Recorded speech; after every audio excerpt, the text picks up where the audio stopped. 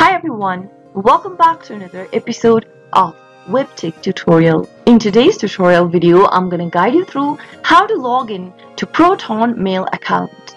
Watch the video till the end and don't forget to subscribe to our channel by hitting that subscribe button. Press the notification bell so that you'll never miss another upcoming upload from us. Open up a web browser to get started.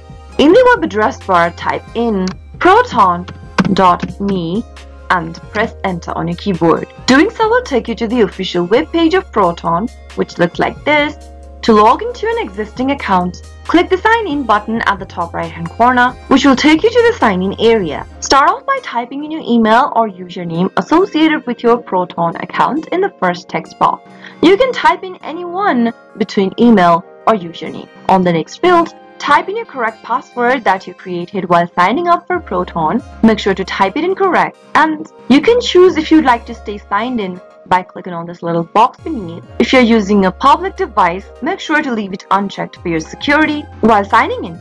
If you don't remember your password or your username, you can click on the trouble signing in link at the bottom and follow through the instructions to get help finding your credentials. Finally, click on the sign in button and you'll be able to log into your Proton Mail account.